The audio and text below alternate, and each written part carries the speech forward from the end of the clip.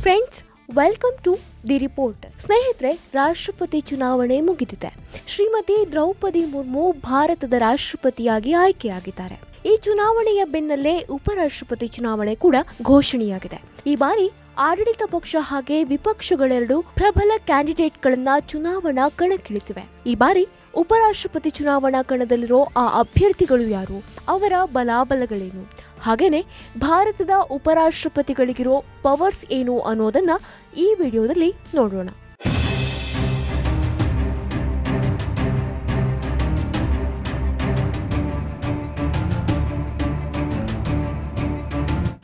ಸ್ನೇಹಿತರೆ ಭಾರತದ ಉಪರಾಷ್ಟ್ರಪತಿ ಚುನಾವಣೆಯಲ್ಲಿ ಎನ್ಡಿಎ ಮೈತ್ರಿಕೂಟಗಳು ಪಶ್ಚಿಮ ಬಂಗಾಳದ ರಾಜ್ಯಪಾಲರಾಗಿರುವ ಜಗದೀಪ್ ಧನ್ಕರ್ ಅವರನ್ನ ಕಣಕ್ಕಿಳಿಸಿದ್ರೆ ವಿಪಕ್ಷಗಳು ಹಿರಿಯ ರಾಜಕಾರಣಿ ಕರ್ನಾಟಕದ ಮಾರ್ಗರೇಟ್ ಆಳ್ವಾ ಅವರನ್ನ ಕಣಕ್ಕಿಳಿಸಿವೆ. ಈ ಇಬ್ಬರು ಕ್ಯಾಂಡಿಡೇಟ್ಗಳ ನಡುವೆ ಬಹಳಷ್ಟು ಸಾಮ್ಯತೆಗಳಿವೆ. ಹೀಗಾಗಿ ಕ್ವಾಲಿಫಿಕೇಶನ್ ಅನ್ನ ನೋಡಿದ್ರೆ ಈರ್ವರ ನಡುವೆ ಸಮಬಲದ ಪೈಪೋಟಿ ಏರ್ಪಡಲಿದೆ ಅಂತ ರಾಜಕೀಯ ತಜ್ಞರು ಅಭಿಪ್ರಾಯಗಳನ್ನ ವ್ಯಕ್ತಪಡಿಸ್ತಾ ಇದ್ದಾರೆ. ಸ್ನೇಹಿತರೆ, ಕ್ಯಾಂಡಿಡೇಟ್ಗಳ ಕುರಿತಾಗಿ ವಿವರಿಸುವುದಕ್ಕೂ ಮುನ್ನ ವೈಸ್ ಪ್ರೆಸಿಡೆನ್ಷಿಯಲ್ ಎಲೆಕ್ಷನ್ ಹೇಗೆ ನಡೆಯುತ್ತೆ, ಮತಗಳನ್ನ ಹೇಗೆ ಕೌಂಟ್ ಮಾಡಲಾಗುತ್ತೆ ಅನ್ನೋದರ ಕುರಿತಾಗಿ ಕೊಂಚ ನೋಡಿ ಬರೋಣ.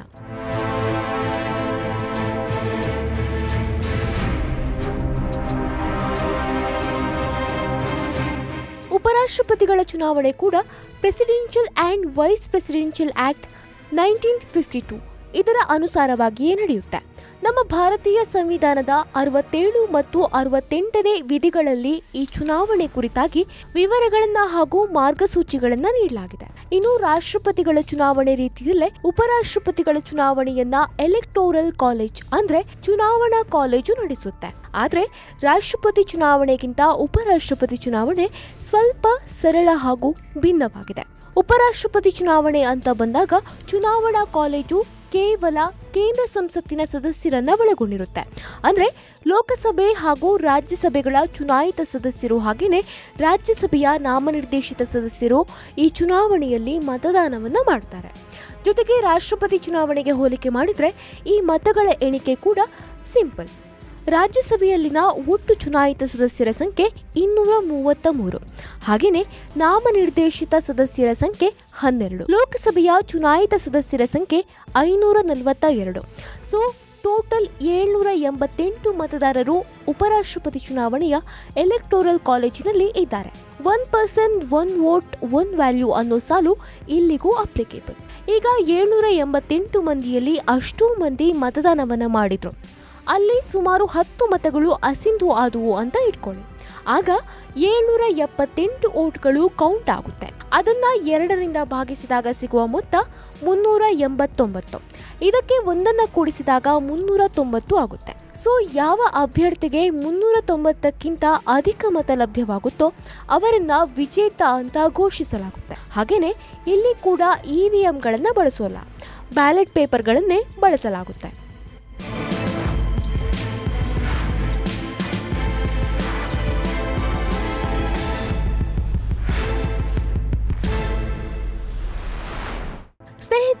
ಸಂವಿಧಾನದ ಅರವತ್ಮೂರನೇ ವಿಧಿ ಉಪರಾಷ್ಟ್ರಪತಿ ಹುದ್ದೆಯ ಸೃಷ್ಟಿಗೆ ಅವಕಾಶವನ್ನು ಕಲ್ಪಿಸಿದೆ.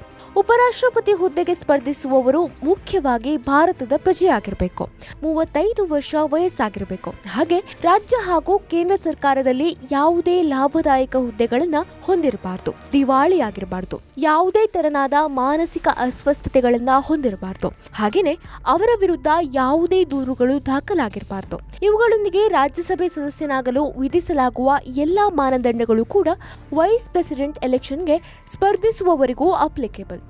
ಉಪರಾಷ್ಟ್ರಪತಿ ಕಾರ್ಯಾಂಗದ ಎರಡನೇ ಅತಿ ದೊಡ್ಡ ಹುದ್ದೆಯನ್ನ ಹೊಂದಿದ್ದಾರೆ. ಇವರು ರಾಜ್ಯಸಭೆಯ ಸಭಾಪತಿಗಳು ಆಗಿರ್ತಾರೆ. ಹಾಗೆಯೇ ಅಕಸ್ಮಾತ್ ಯಾವುದೇ ಕಾರಣದಿಂದಾಗಿ ರಾಷ್ಟ್ರಪತಿ ಹುದ್ದೆ ಖಾಲಿಯಾದ್ರೆ ಉಪರಾಷ್ಟ್ರಪತಿಗಳು ಹಂಗಾಮಿ ರಾಷ್ಟ್ರಪತಿಗಳಾಗಿ ಕಾರ್ಯನಿರ್ವಹಿಸ್ತಾರೆ. ಆದ್ರೆ ಅದರ ಅವಧಿ ಆರು ತಿಂಗಳುಗಳು ಮಾತ್ರ. ಅದರೊಳಗೆ ಹೊಸ ರಾಷ್ಟ್ರಪತಿಯ ಆಯ್ಕೆ ನಡೆಸಬೇಕು. ಈ ಹಿಂದೆ ಸಾವಿರದ ಒಂಬೈನೂರ ಅರವತ್ತೊಂಬತ್ತರಲ್ಲಿ ಭಾರತದ ರಾಷ್ಟ್ರಪತಿಯಾಗಿದ್ದ ಡಾಕ್ಟರ್ ಜಾಕಿರ್ ಹುಸೇನ್ ಅವರು ನಿಧನರಾಗಿದ್ದ ಸಂದರ್ಭದಲ್ಲಿ ಉಪರಾಷ್ಟ್ರಪತಿಯಾಗಿದ್ದ ವಿವಿ ಗಿರಿ ಅವರು ಹಂಗಾಮಿ ರಾಷ್ಟ್ರಪತಿಯಾಗಿ ಅಧಿಕಾರ ವಹಿಸಿಕೊಂಡಿದ್ರು. ಹಾಗೆಯೇ ಜೇಲ್ ಸಿಂಗ್ ಅವರು ನಿಧನರಾದಾಗ ಉಪರಾಷ್ಟ್ರಪತಿಯಾಗಿದ್ದ ಬಿ ಡಿ ಜತ್ತಿ ಅವರು ಹಂಗಾಮಿ ರಾಷ್ಟ್ರಪತಿಯಾಗಿ ಕಾರ್ಯನಿರ್ವಹಿಸಿದ್ರು. ಇನ್ನು ರಾಷ್ಟ್ರಪತಿಗಳು ತಮ್ಮ ರಾಜೀನಾಮೆಯನ್ನು ಸಲ್ಲಿಸೋದು ಉಪರಾಷ್ಟ್ರಪತಿಗಳಿಗೆ. ಉಪರಾಷ್ಟ್ರಪತಿಗಳು ಆಕಸ್ಮಿಕವಾಗಿ ರಾಜೀನಾಮೆಯನ್ನು ನೀಡಿದರೆ ಅಥವಾ ಸಾವನ್ನಪ್ಪಿದರೆ ನಿರ್ದಿಷ್ಟ ಅವಧಿಯಲ್ಲಿ ಆ ಹುದ್ದೆಗೆ ಮತ್ತೊಮ್ಮೆ ಚುನಾವಣೆಯನ್ನ ನಡೆಸಲಾಗುತ್ತೆ. ಆದರೆ ಪುನಃ ಆಯ್ಕೆಯಾಗುವ ಉಪರಾಷ್ಟ್ರಪತಿಗಳು ಸಂಪೂರ್ಣವಾಗಿ ಐದು ವರ್ಷಗಳ ಅಧಿಕಾರ ಅವಧಿಯನ್ನು ಹೊಂದಿರ್ತಾರೆ. ಇನ್ನು ಉಪರಾಷ್ಟ್ರಪತಿಗಳಿಗೆ ರಾಷ್ಟ್ರಪತಿಗಳು ಪ್ರಮಾಣ ವಚನವನ್ನ ಮೋದಿಸ್ತಾರೆ ವಿಶೇಷ ಅಂದ್ರೆ ಉಪರಾಷ್ಟ್ರಪತಿಗಳು ಯಾವುದೇ ಸಂಸತ್ತಿನ ಸದಸ್ಯರಲ್ಲದೆ ಹೋದರೂ ರಾಜ್ಯಸಭೆಯ ಸಭಾಧ್ಯಕ್ಷರಾಗಿ ಕಾರ್ಯನಿರ್ವಹಿಸ್ತಾರೆ. ಹಾಗಂತ ಯಾವುದೇ ಮಸೂದೆಗೆ ಸಂಬಂಧಿಸಿದ ಹಾಗೆ ವೋಟ್ ಮಾಡುವ ಹಕ್ಕನ್ನು ಉಪರಾಷ್ಟ್ರಪತಿಗಳು ಹೊಂದಿಲ್ಲ. ಕಾರಣ, ಅವರು ಯಾವುದೇ ಸಂಸತ್ನ ಸದಸ್ಯರಲ್ಲ.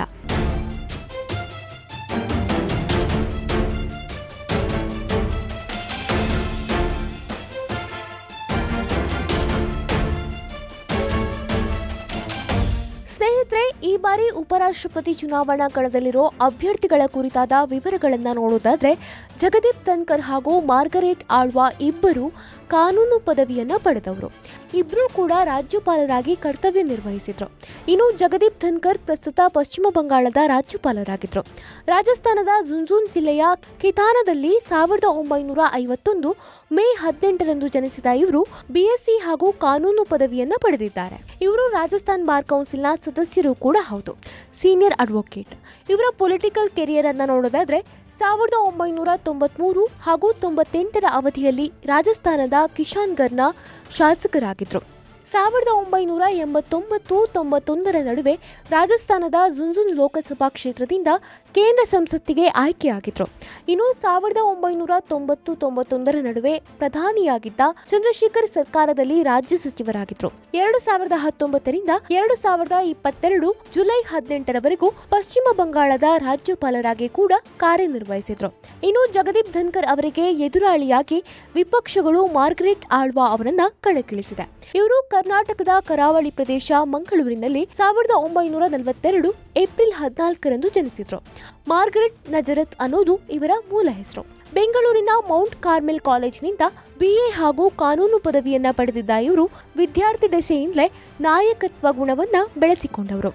ಆರಂಭದಲ್ಲಿ ಯಂಗ್ ವುಮೆನ್ ಕ್ರಿಶ್ಚಿಯನ್ ಅಸೋಸಿಯೇಷನ್ನ ಅಧ್ಯಕ್ಷರಾಗಿದ್ದರು ಮಹಿಳೆಯರು ಹಾಗೂ ಮಕ್ಕಳ ಸಮಸ್ಯೆಗಳನ್ನ ಬಗೆಹರಿಸೋದಕ್ಕೋಸ್ಕರ ಕರುಣಾ ಅನ್ನೋ ಎನ್ಜಿಒ ಅನ್ನು ಕೂಡ ಸ್ಥಾಪಿಸಿದ್ರು. ಇವರ ಪತಿ ನಿರಂಜನಾ ಥಾಮಸ್ ಆಳ್ವಾ. ಇನ್ನು ಇವರ ಪೊಲಿಟಿಕಲ್ ಜರ್ನಿಯನ್ನ ನೋಡೋದಾದ್ರೆ ನಿರಂಜನ್ ಆಳ್ವಾ ಅವರ ಹೆತ್ತವರಾದ ಜೋಕಿಮ್ ಆಳ್ವಾ ಹಾಗೂ ವೈಲೆಟ್ ಆಳ್ವಾ ಇಬ್ರು ನ್ಯಾಷನಲ್ ಕಾಂಗ್ರೆಸ್ನಲ್ಲಿ ಸಕ್ರಿಯರಾಗಿದ್ರು. ಮಾತ್ರ ಅಲ್ಲದೆ ಸಂಸತ್ ಸದಸ್ಯರಾಗಿಯೂ ಕಾರ್ಯನಿರ್ವಹಿಸಿದ್ರು.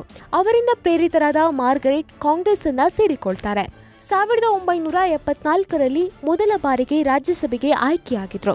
ಸಾವಿರದ ಒಂಬೈನೂರ ತೊಂಬತ್ತೆರಡರವರೆಗೂ ರಾಜ್ಯಸಭಾ ಸದಸ್ಯರಾಗಿ ಮರು ಆಯ್ಕೆಯಾಗಿ ಮುಂದುವರಿತಾರೆ.